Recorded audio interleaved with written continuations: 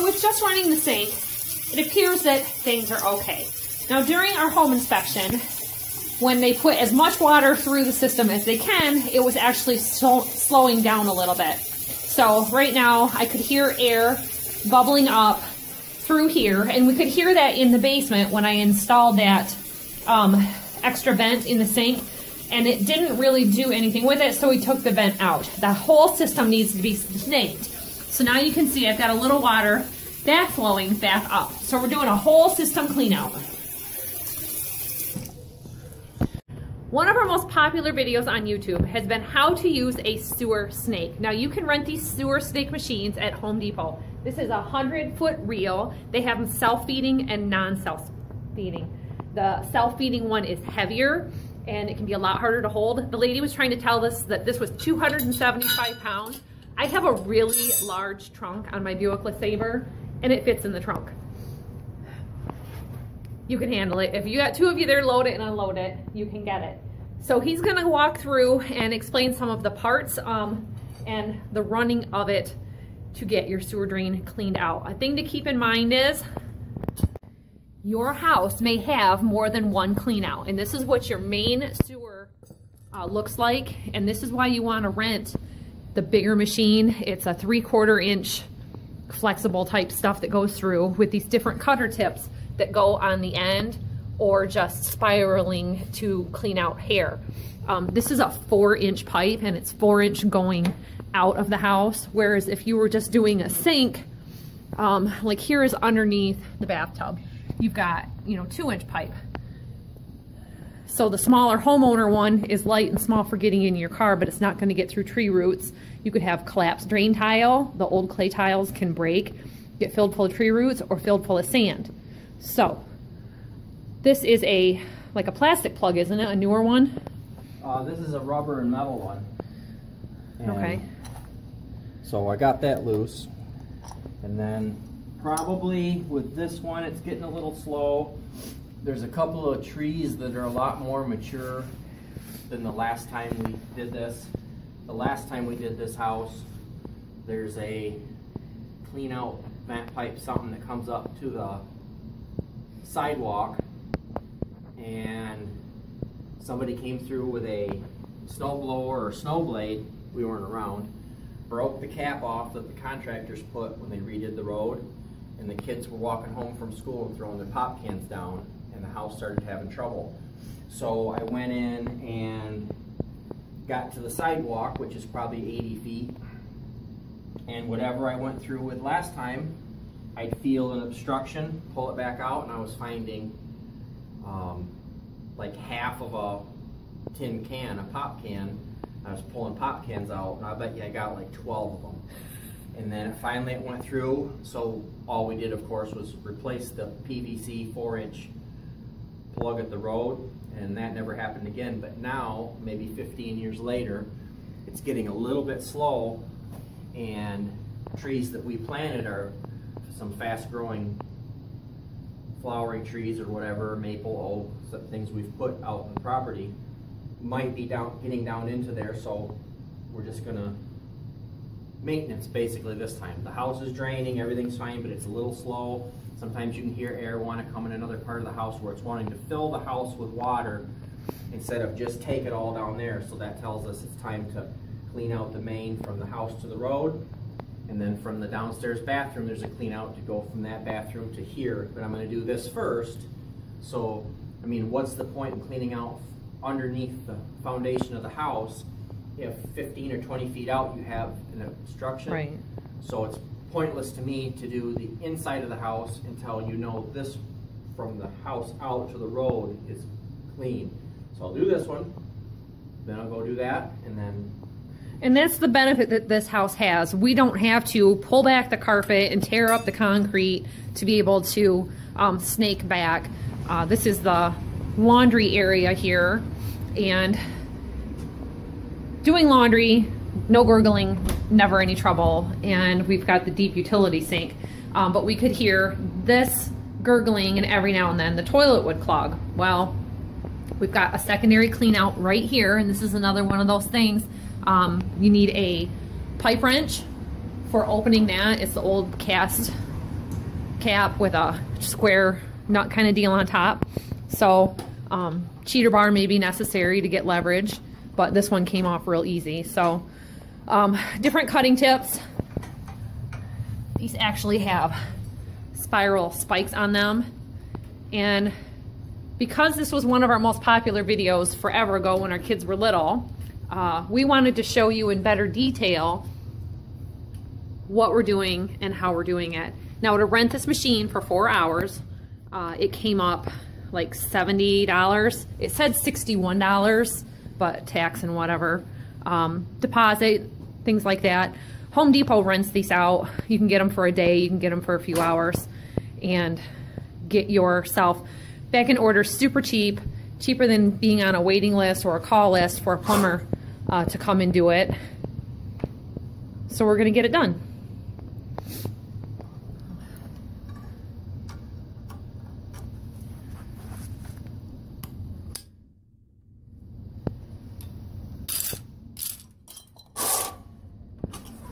Was the other one like a half inch?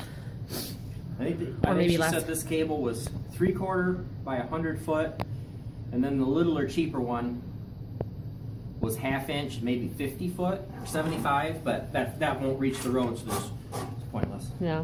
So what I did is I put that that it's like a sawing tip. If there's roots, I always start with that spiral shaped cutter. It's kind of like this type tool, but spiral.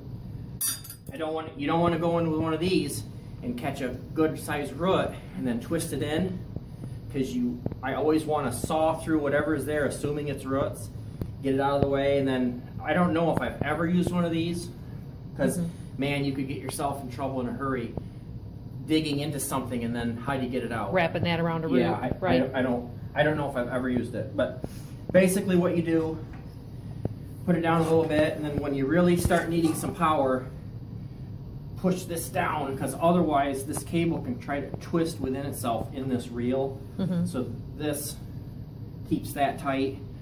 They have a safety switch. When you turn the power on right here, they won't go. There's some type of a vacuum switch right here. When you push on that, Mhm. then it turns so that if you fall down or get twisted up in something and your foot comes off and you fall, the whole thing's gonna stop. So they recommend that you wear rubber gloves. they recommend when you do this to wear leather gloves, and that was one huge comment uh, deal with the other. We didn't have gloves, and he just did it um, barehanded for a while, and he was fine. He's a tough guy. And then he did it with rubber gloves, and he was fine. He's still alive. Imagine that. The kids all grew up.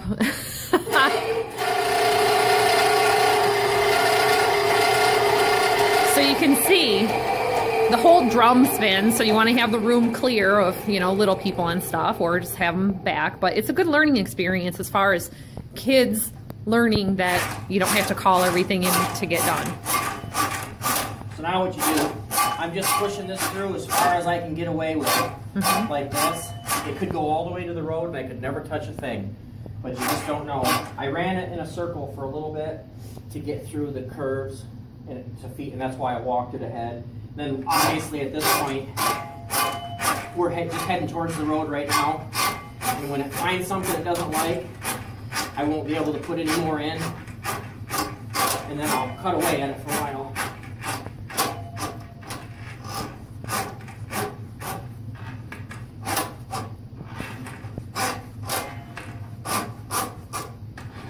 Obviously, it gets harder and harder to push in anyway. Yeah. Pushing a lot of weight. I think she said this weighed 279 pounds. And most of it, I think, is the cable. Yeah, and I wouldn't recommend that. They had a tiny homeowner type one that did not have a motor.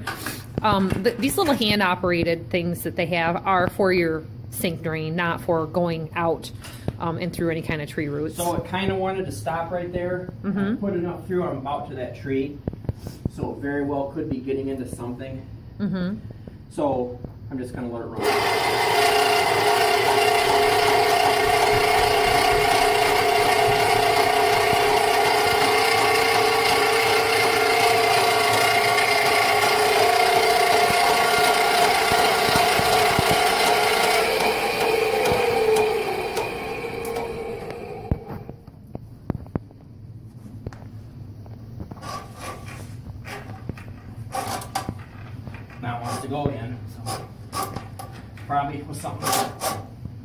Yep, if it's that far, you're probably There's a pretty mature flowering tree that was planted maybe 16 years ago. Now it's to another spot, right in Yeah. that tree area. And then there's an oak tree right there.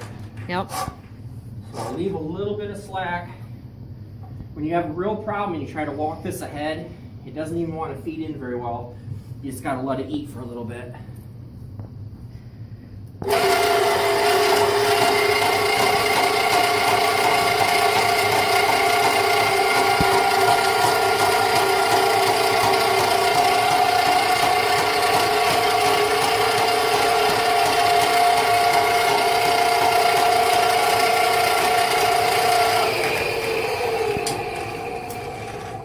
That that was definitely chewing away at something. When you get something really bad, say you leave this machine out this far, this will actually coil right up outside. Mm. It'll just stop this, and then you just gotta. Sometimes when they're that bad, because this house was still taking all of its water, just slower than it was. But when you're stopped completely, and you have to get something through really bad, then of course you'd just start with that. Yeah. It's um, even sand. We had one house where the clay tile broke and it was taking in sand to the point it was stopping and taking no water. Even this particular style tool will go right through the sand and then um, not necessarily take all your water quick, but when you pull it back out, you'll see remnants of sand and then you got real trouble because then you're digging like I had to. But this house is not. This house, like I say, just needs some maintenance. It's a little bit slower. So some people actually recommend putting a hose um, down here and start running water down the line. And once you're clear, that's it. That's going to be a problem because if it backs up, where's it going to go? Right. On the carpet. I like to make it through the first time. If you have a slow drain, your pipe does have water in it. Yeah. And we we ran water off camera, of course, to give it something, and then uh, we'll see how it goes. When it's really bad and you get through something bad, you'll actually hear that pipe sucking. It takes that whole four-inch buildup and mm-hmm. everything in the house that's been slow and just takes it mm-hmm. when it works well, and everything's gone. And from that point on, you can give it all the water you want, so that all the there's rust in here. Everything that you touch and falls down gets flushed as you do it, so then you don't back up again. Yeah. But it's digging through something out there right now, so it's probably just tree roots.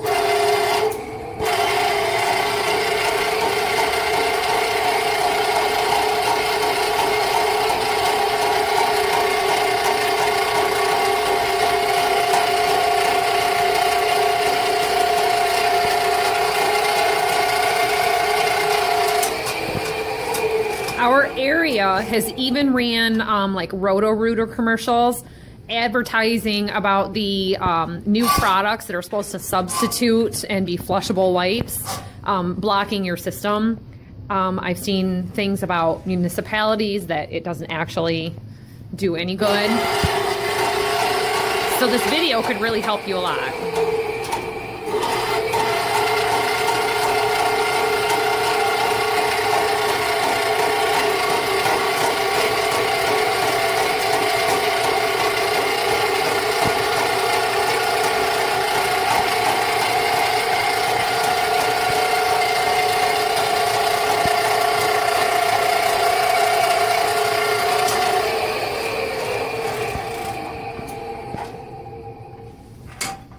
It's doing its job.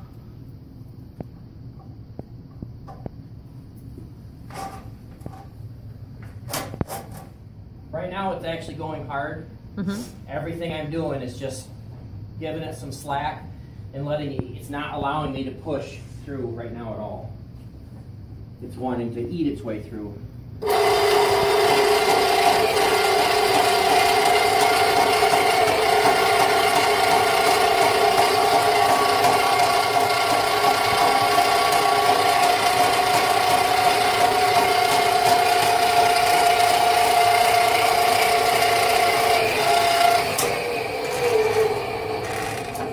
Then whatever's in there, as I pull that back every time, pulls that stuff out of the way. Because you're pulling that tool back out of where you just cut. Mm-hmm. And that seems to help a lot.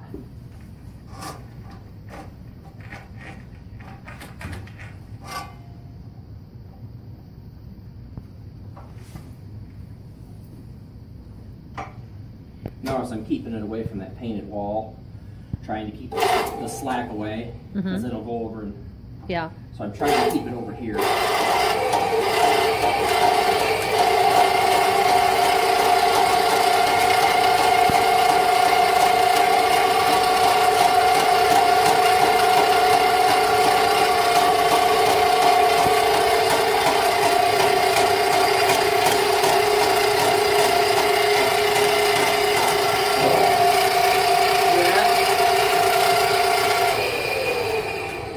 I just heard it like glug.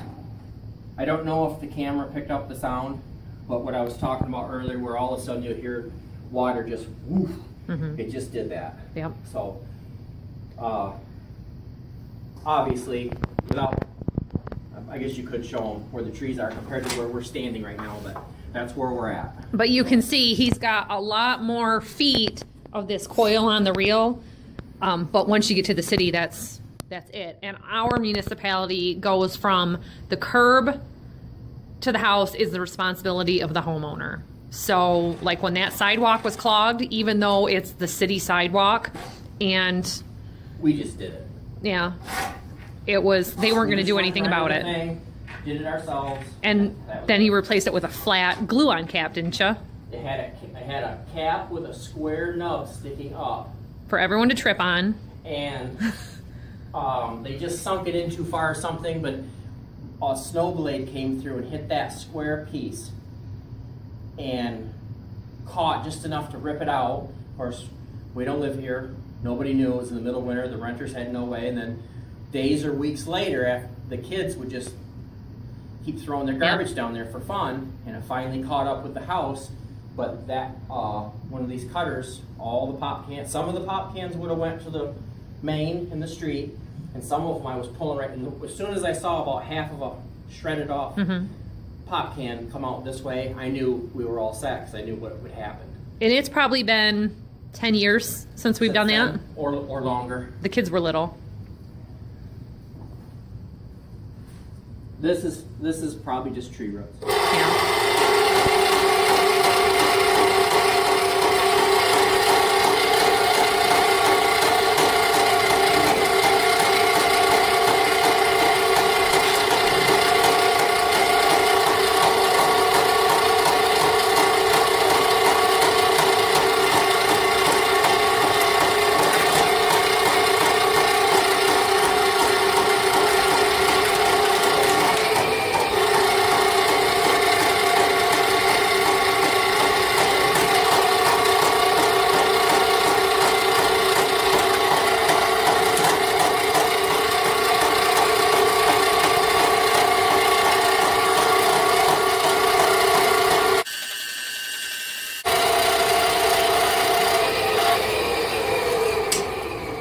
See now that time that took quite a bit. Yeah. That took a long time for it to chew through whatever enough to go on its own. So where I was pointing to how it was flipping around so much, and that's why he feeds it forward to help kind of control that. And that's where the rubber gloves really come in handy because if you have to hold that to keep it from flopping, well, if you can just feed it in, then that solves yeah, all you that issue. That wing nut to do that. Um, but I'd say we're getting her now. And and keep in mind this hundred foot, the the cable is longer than we even need. We will be out by the time I realize how far I am and it's good enough. We'll be out in the street. Yeah. So, but I've already heard it do a couple of really good things that sound where it took all the water that was sitting in the pipe. I heard that. So. So, like what he was saying, and with it flopping around, um, this is somewhat recently painted, so we don't want to mark up the wall with letting that hit the wall. So, if you have a finished has a basement, times. put a piece of cardboard there and um, protect Yeah. it. It's it's not bad. What I've done Yeah. so far, wash off.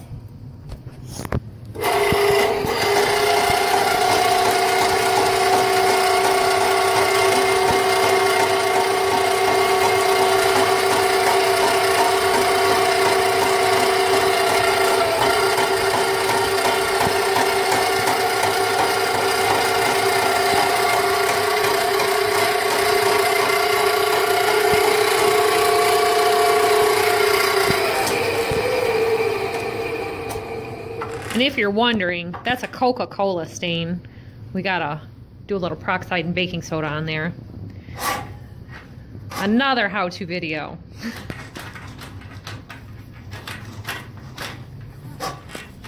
Quite a ways out there.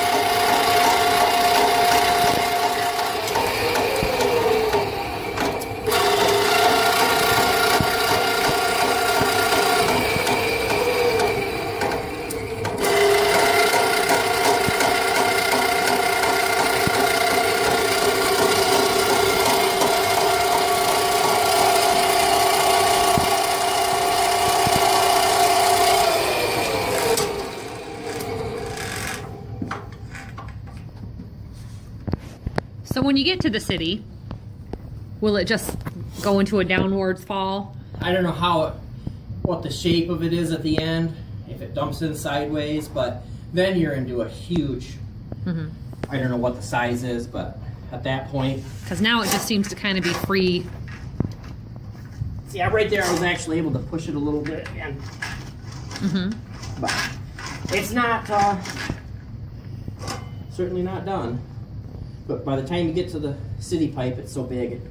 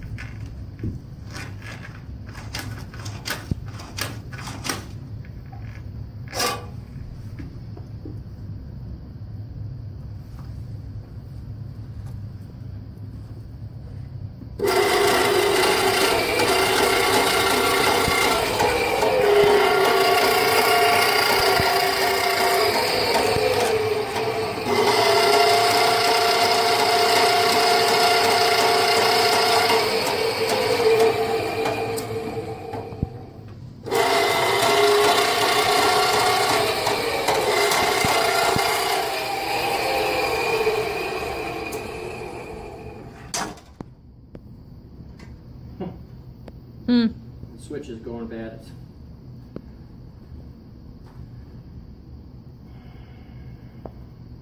wants to slowly come up. So maybe I won't stomp it to the ground as hard, and that'll help it from.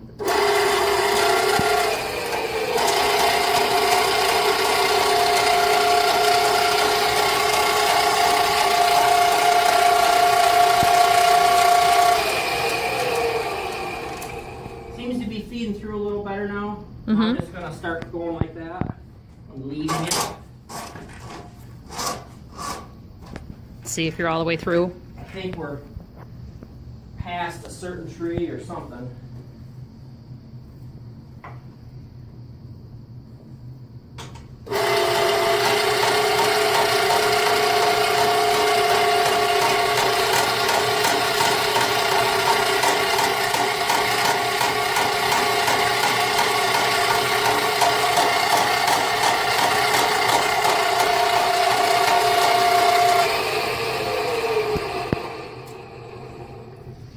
See at this point, it's not a messy process. It might or could get messy reeling it back in. So you might want a tarp or whatever because Yeah. that cable is going to be coated with anything that was in the pipe. So if you had a complete the time you- stoppage, by the time you pull it out, it's just clean water because you're running water. yeah. When we get through, we'll turn the water on, and then it just.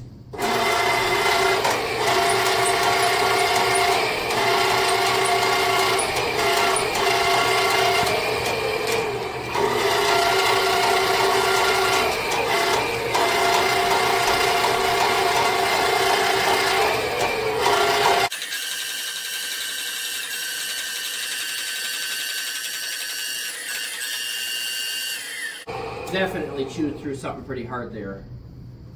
It, took it a bit. And that's the thing, you know, about it. You don't know what the last guy cleaned out. This had like toilet ring wax on it um, Yeah. when we picked it up. And like I was saying about putting down a tarp, whatever they had, black, gross, rooty stuff, is That's that's dirty. going to get carpet cleaned. But you're gonna be in that area for that anyway. Yep. If you had something, it'd be fine. But So you just don't want to get yourself in a situation that you have to go rent a carpet cleaner if you don't have to.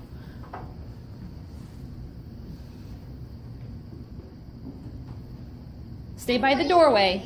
Stay by the doorway.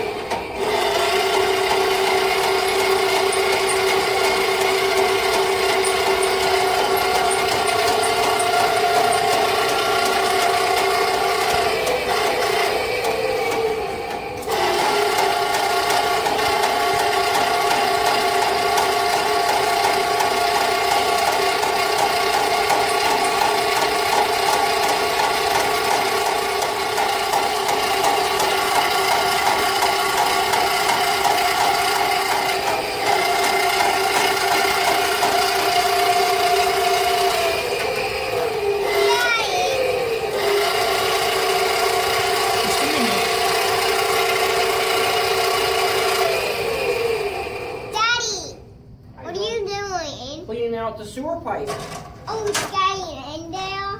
Hmm? Do you have some cardboard? Let me see. There you go. All right. Well, we got. You don't have to even run it.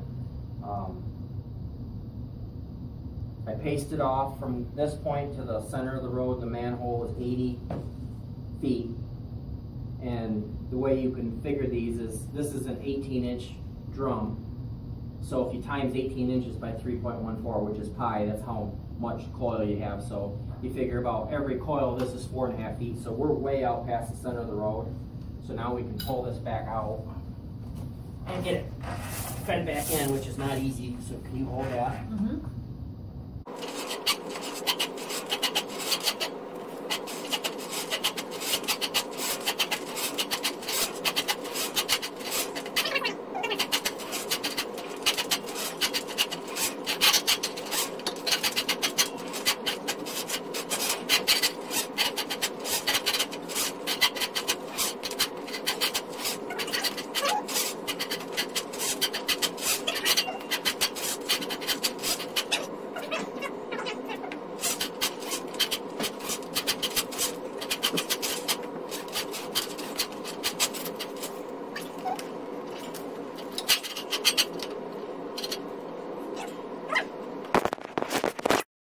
I'd show you from a perspective of outside of the house. This is a bathroom window, so that tub drain is, we were right underneath um, this patio slab for that drain and going out on an angle so we could tell we hit roots going here. Again here, these trees weren't here previously. This is the sidewalk clean out that we talked about and you can see even though we did a glue uh, down cap it has been chewed up. Some people go through here with uh, snow blades. Just neighbors doing snow plowing. And then to the manhole out there he figured you know 80 feet plus we were right out there to that. We're going to be clear and in good good shape.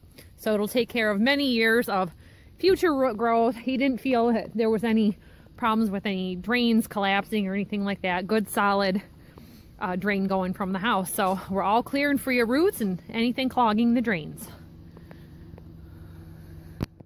now I wanted to give you a little bit of a heads up. If you're going to run that sewer snake through more than once and have any water running, the line as you're pulling it back in is going to be wet. So we laid down some cardboard and we tried to keep the floor as dry as we could. I'm gonna get my carpet cleaner, some black sooty stuff from, you know, trees and whatever. Um, sludge, gotta clean it. Better to just cover up everything with a tarp the best you can. These kind of things happen, it's not a big deal. A little bit of Clorox on the wall and we're good as new again. So that is sewer snaking DIY for a homeowner. You can rent the machine, like I said, $75 or less for the day, four hours, plenty enough time total running it out there twice with the different attachments, doing the backside. We're at about 30, 35 minutes. The rental place is 30 minutes away. Four hours is more than enough time to do that. And it does really give you a lot of money savings. You can buy these um, units at like Home Depot, Menards. I've seen them there before. If you don't return it, they're just going to charge you for it. You know, it's like $400. Um, it said for, oh, a week or something. I don't know. And then it was like $2,500 uh, to be able to own it. So they can get very pricey or they can be very cheap in the, you know, $400 range. I've seen them all over the place. Better just run it for a couple hours. This isn't the kind of thing that comes up very often. Like I said, it's been, you know, 10, 15, well, probably 10 years since we've actually done it here at this house. Good to do. So keeping that in mind, everything's clean. So you just wanna make sure any of your P-traps are clear, things like that. Um, we noticed the tub was still running a little bit slow, so we're gonna open this up and do a separate video on cleaning out your uh, bathtub, you know, things like that in the future. So thanks for watching, everybody. If this helped you at all, give a thumbs up, share it, subscribe, do the like, you know. We'll see you next time. Bye-bye. To show you, yes, it fits in your car.